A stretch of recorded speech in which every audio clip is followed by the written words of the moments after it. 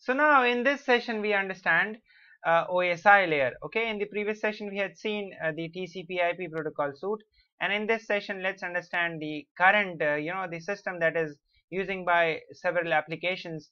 So this is open system interconnection. which is known as OSI layer. I hope you had you are familiar with this term and you had seen many a times in the in the subject of computer network or advanced computer network or in data communication or in wireless or any other.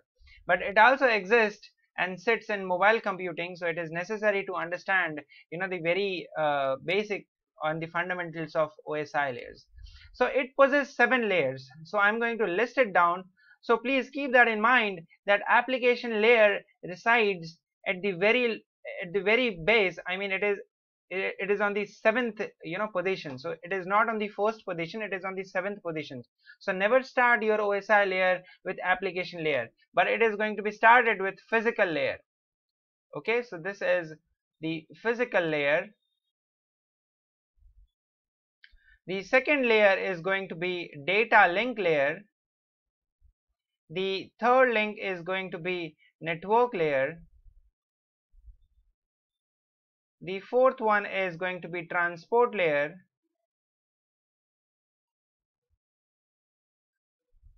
The fifth one is going to be session layer. Sixth one is going to be presentation layer. And the last one is going to be the application layer. These are the seven layer which we need to understand precisely. And the question that, that they're going to ask you is they will ask you the functionalities and they will ask you these layers and they will ask you that uh, that where exactly this function functionality will possess. So you have to name the layer where this functionality suits up. Okay so these this is the OSI layers and we we will understand the functionalities of each and every layer so i'm going to start with the first layer and the first layer is going to be your uh, the physical layer. So let me write it down here that the first layer is the physical layer. And now understand that physical how why is it you know started with physical layer? Is because you uh, you you have your devices okay first. On hand you are having your devices. So we will start with the very basics of the thing from where exactly you know you are propagating your signals. So the physical device is actually the first thing that arises whenever we want to deal with data communication or any other kind of exchange of information. So this is that is the reason we have physical you know as a physical layer come and exist. So the function it possesses so the function it possesses i'm going to write it down here. So the first function it says that it shows you the physical characteristic. The physical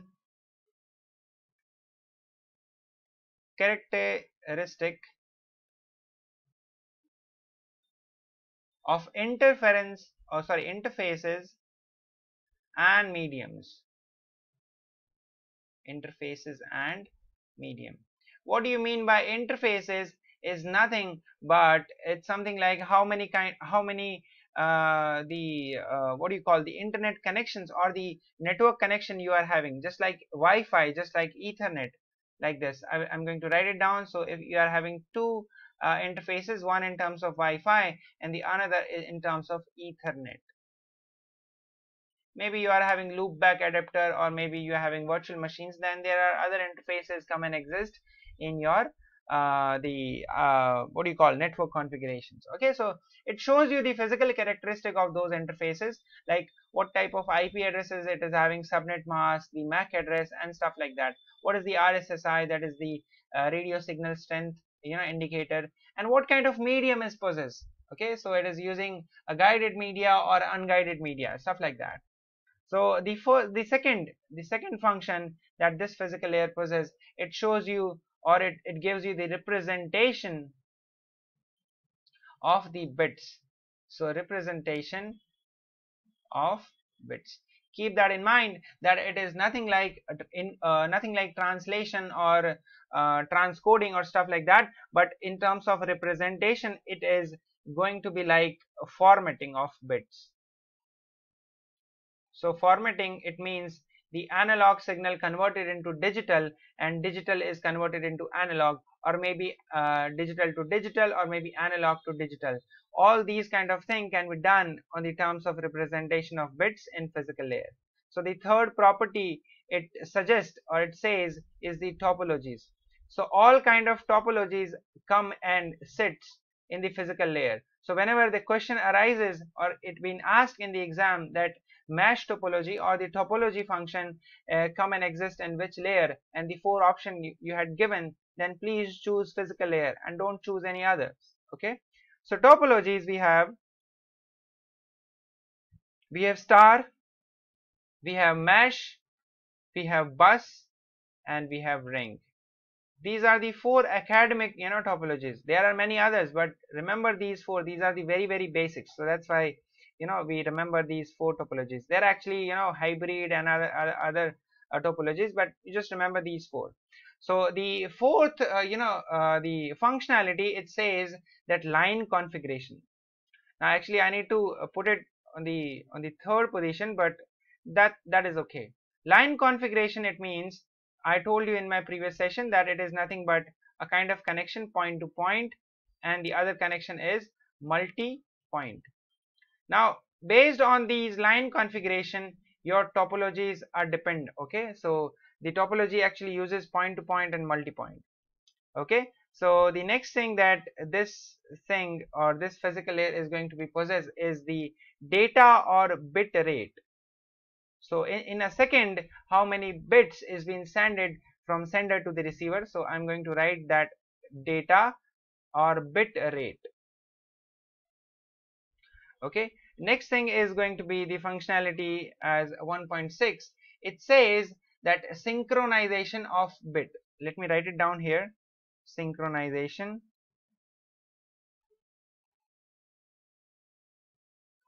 synchronization of bits.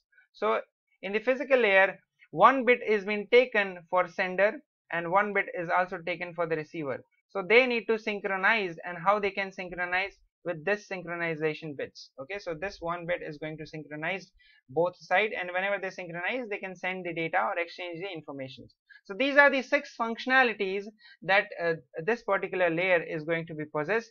So please remember that we have physical layer and we have six possible functionalities which you can elongate it in your you know language and can precisely write it down in the exam.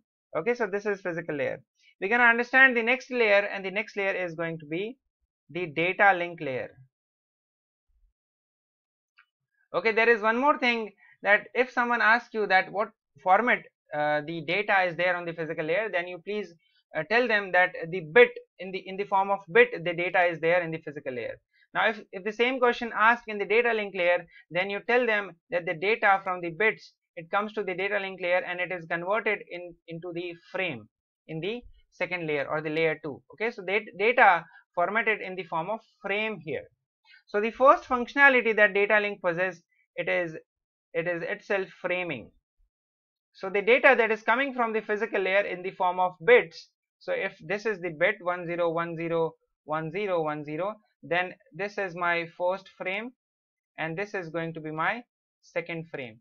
In the way so this is my f1 f2 and so on. In the way the framing is working. Okay so this is framing.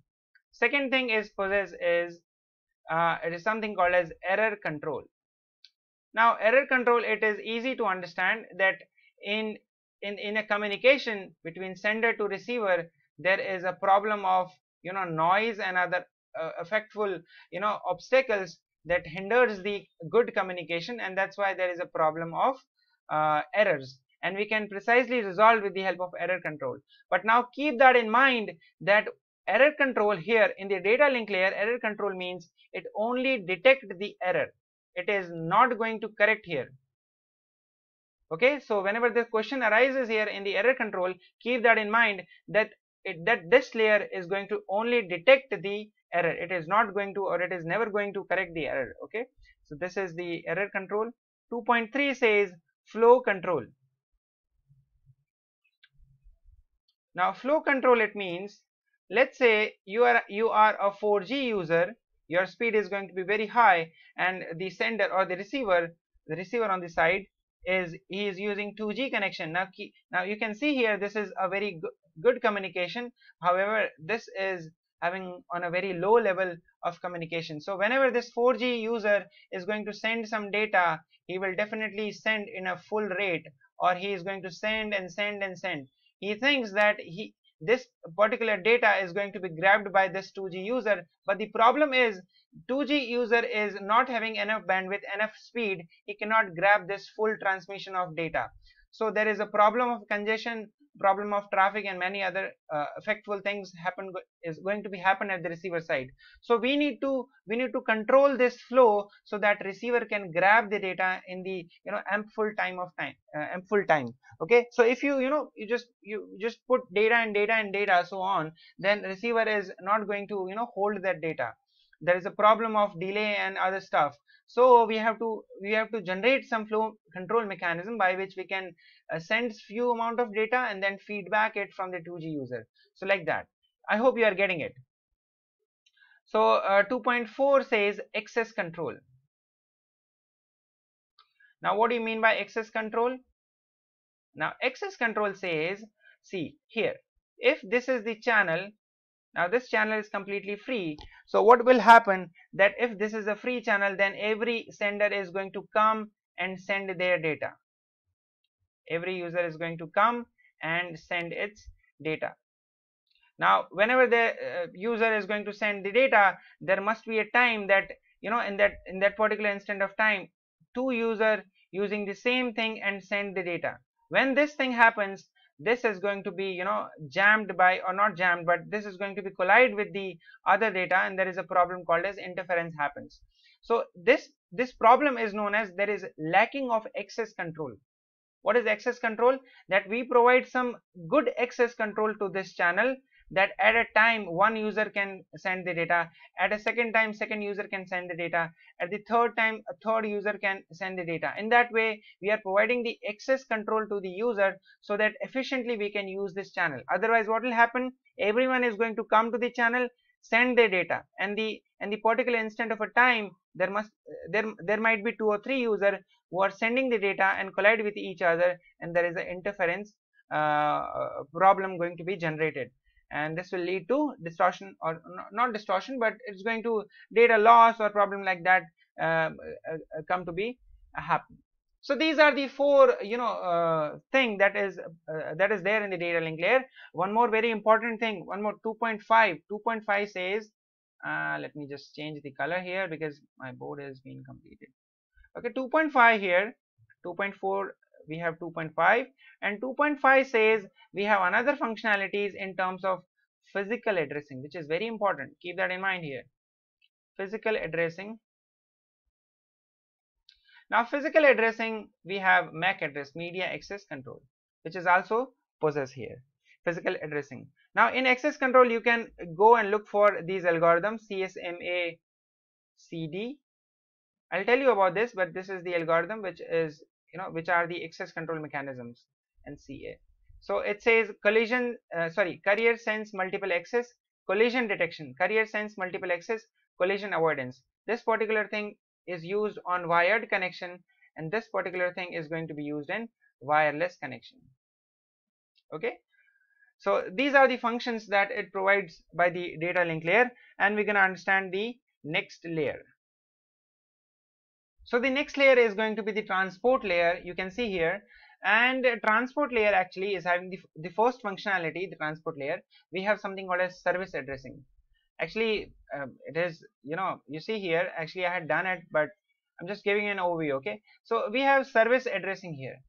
Now why this is important you think about it. Now let's say you are requesting something on the computer okay? How your how the question arises is how your computer understand that this service is going to be opened up on the basis of response you are requesting something and the response is response is, response is coming back then how your computer is going to know that yeah this service is, is going to be opened so let's say I give you an I give you an IP address 172.16.13 here. You see here, I, I had given you this IP address here, right? Then how your computer is going to respond this request? Because with this IP address, he he doesn't know that what exactly he wants. This IP address is only meant to uh, identify you uniquely on the internet. There is no other meaning of this IP address. But then if you provide something called as colon and some number, then your computer is going to understand, yeah, then this service is, is needed to be opened up. So when you provide 80, then your computer is precisely know about this that it, it needs to open the browser and there is a need of, uh, you know, surfing or browsing. In a very similar way, if there is an IP address which shows you that, uh, you know, dot uh, colon 21, then this 21 gives you an idea to this computer that, yeah, I need to open FileZilla uh, to make an FTP connection. Because you see here, this IP address is, is, this, is the same IP address. If you don't provide this port address, this port number, then your computer is going to be, you know, it is going to be uh, behave as an question mark because he doesn't know that which service now he wants to open. Because your IP is only, you know, identify you uniquely over the internet. It doesn't give you any other um, thing but this this colon number this colon number gives you an idea to this computer that yeah this service is meant for this so so i will open this service. So 80 is meant meant for uh, browsing and surfing. 21 is used to uh, used to for file transfer. Then in the same way uh, 25 is used for mail serving and and and stuff like that okay? So the service service addressing is the thing by which you know your your uh, computer is going to understand that yeah this service I needs to open. We call it as port address. This is the first or the 4.1 function of transport layer. The next function we have here I had listed down actually. The second function is segmentation and reassembly. So you see the data in the network layer is in the form of packets. However in the transport layer we have data in the form of segments. So if I have a packet here you can see this is this is my complete packet. And let me change the color here. If you if you can see here this is my this is my complete packet. This is the first packet and this is the second packet here. Then I will I will make a chunk here. I will chunk it and then chunk it then chunk it. So every chunk is going to be the segment. Every chunk is going to be segment. Then this is segment this is segment this is segment. And they, these segments are going to be sended over the internet or over to the channel to the receiver or to the receiver side. You can see here. Okay so this data or this segments is going to be transmitted to the receiver side in the form of segments. Now also i had written down reassembly. So all these segment segmented data on the receiver side is going to be reassembled. So segmentation is done on the transmitter side and the reassembly is done on the receiver side. Now the real question arises that as i'm as i'm saying you that these are the s1 s2 s3 are the segmented data. As i as i'm throwing you as i'm throwing these uh, you know segmented data in the uh, on the channel then there are so many problems inside the channel. Noise disruptions and many other interference delay. So then how receiver can understand that this is the data s1 this is the data s2 and uh, these two datas are concatenated or this is the complete whole structure of a packet? How your receiver is going to understand because your data is going to become like this high and then other other time it, it comes as uh, what? Then other come other on the, on the on the other time it comes as up. There is no sequence of the data. So we have a functionality as 4.3 known, known as sequencing. So whenever you you you throw s1 or the s2 or s3 that segmented data you also throwing some sequence number by which the receiver can understand that yeah the sequence number and the data is comes up. And the second second data is comes up with the sequence number 2 sequence number 3 the data comes up. Then he can join up. Otherwise the scrambled data comes up at the receiver side. He's ne never going to understand the complete message. Right? This is the problem. So we have sequence number now 4.4 you already know about connection oriented that whenever you wants to send some data on the basis of TCP then it needs to establish the connection first and then you can send the data. So we have three three way handshake for that. Okay?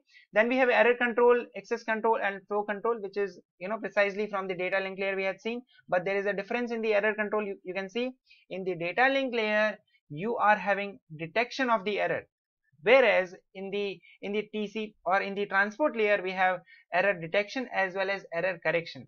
Keep that in mind. Then other thing we have congestion control and end-to-end -end communication which are the 4.9 functions in the transport layer. Now let's understand the the fifth layer. Fifth layer is going to be the session layer. Now session layer actually it possesses two functionalities. First one is dialog control and the second thing is synchronizations. So you see dialog control what do you mean by dialog control? Is actually whenever you fill up some form or any other stuff the server or the service is going to allocate some session time. Whenever that session time is going to be expired you have to again restart your work. So you are in the in the some dialogue where there is some restriction on the time and you have to work on the on bit on, on the on that on that specified time okay? That is the dialog control. Or you can precisely known known as session session timeout okay? Then we have something called as synchronization. Now synchronization you see here synchronization. What do you mean by synchronization? Let's say for an example a user on the sender side have 2000 page of book here.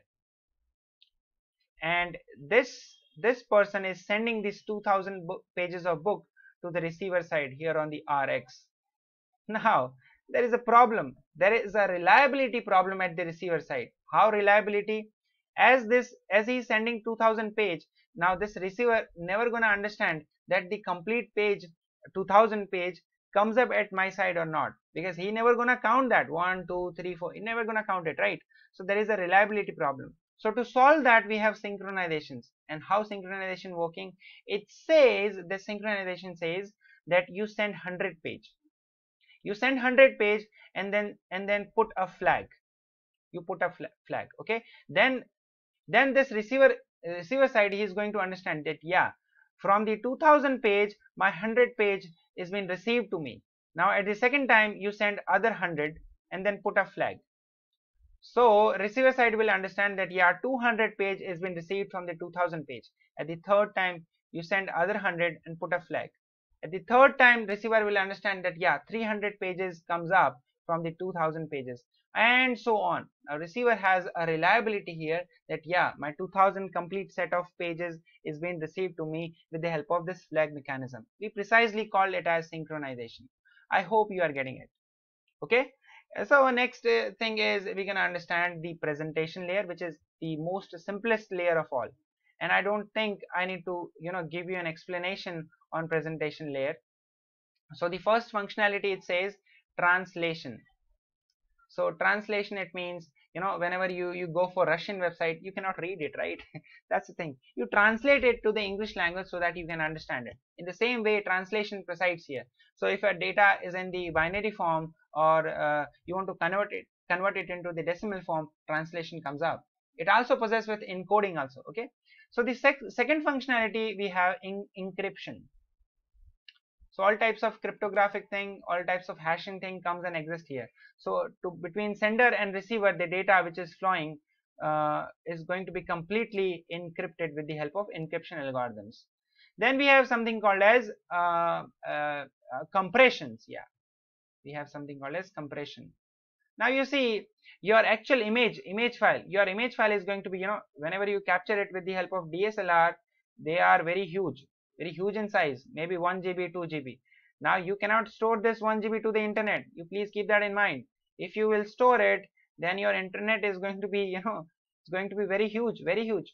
So what exactly in the real time we do we compress it so that you know it gives you some limitations on this image. So it can be 250 now kb or some mb okay? So 1 mb maybe. So you compress it completely compressed. We have different algorithm for compressions huffman and like and and other algorithms. So these are the three functionality that you know this presentation layer is going to be uh, going to be possessed. And i hope these three functionalities are very easy to understand. So the next and the last layer is going to be your seventh layer and we call it as application layer so on the application layer we have something called as directory service. We generally deal with all you know application protocols. Um, so in terms of application protocol we have something called as TFTP or FTP these are the uh, these are the what do you call directory services. Okay file transfer protocol and file transfer protocol and then secure file transfer protocol and like that. The other other thing that this application layer possesses is mail servers and the protocol that it says POP3 or maybe SMTP, IMAP and stuff like that. Then we have we have remote login. Now when I say remote login, you can directly call your telnet, you can call your SSH and like that. So these are the you know functionality that it possesses by the application layer. Keep that in mind. If there is an option called as Word, called as Paint, called as another software or maybe Excel or like that, you please keep that in mind that these these are not the application layered stuff. These are completely going to be wrong. Okay, you you never you never tick on these options.